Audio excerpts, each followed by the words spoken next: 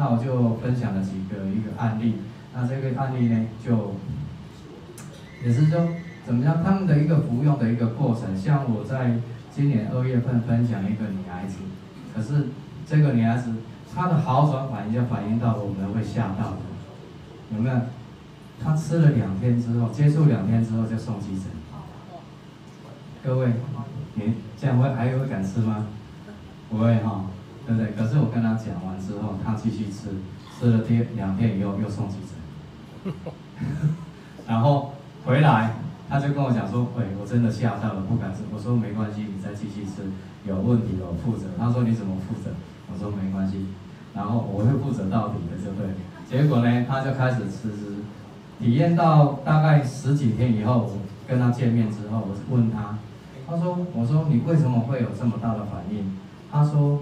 我就问他说：“你平常是不是会头痛啊，或是哪里痛？”他说：“对呀，我就是一天我要吃五颗普拿疼。”各位，他把普拿疼当糖果吃，哎，吃一天吃，他吃到去那个药局哦，不用讲话，药局人就知道普拿疼，就是这样。他自己跟我分享了，结果他到了到了一个月以后，你知道吗？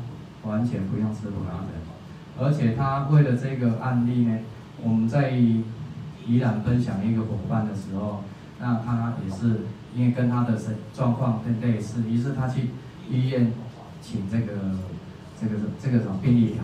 那这个病历表的时候呢，那个医生就这样讲说：“哎，郑小姐，我跟你挂二月十四号，你有回诊，那你哎你二月十四号要回诊，你怎么没回诊？”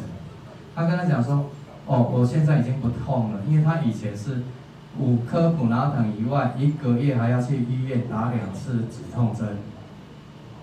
然后呢，他就说我为什么你现在没有回诊？那你怎么？他说我就吃了，然后就朋友介绍吃了一个什么叫干细胞的东西。然后那个医生就很很直白跟他讲说，干细胞只有用打的，没有用吃的。他就跟那个医生讲说，我确实是吃了干细胞，我现在所有的症状都好了。那于是这个医生也把这个病例给了他，让我们去依然要分享的一个案例，那也帮助了很多的人。那还有就是我分享一下，既然你问到，我就顺便分享一下，我们里面的冻干保存技术哈，是把这个细胞里面的这个水分剔除，对不对？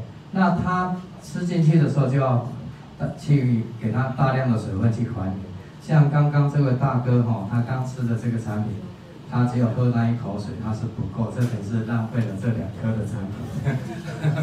好，其实就是说我们在吃的过程里面呢，不管你是两颗、三颗或是几颗，就是最少三百五到五百的水，就看个人的这个食量大小。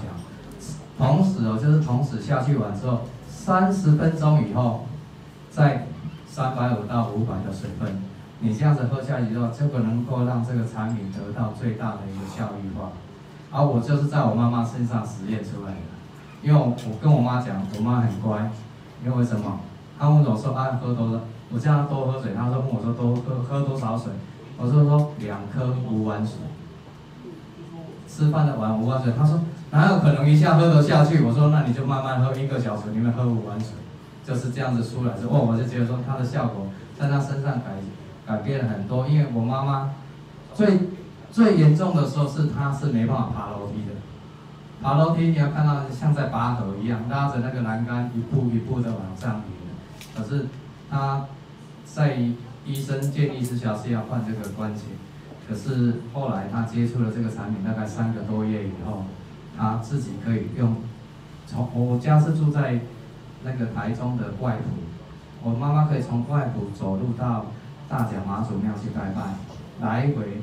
走三个小时，本来没办法爬楼梯，可以来我走三个小时。对，因为妈妈不自制，所以她只会搭她的十一号公车，就是这样子。对，好。哎，那你自己呢？我自己，我自己也是。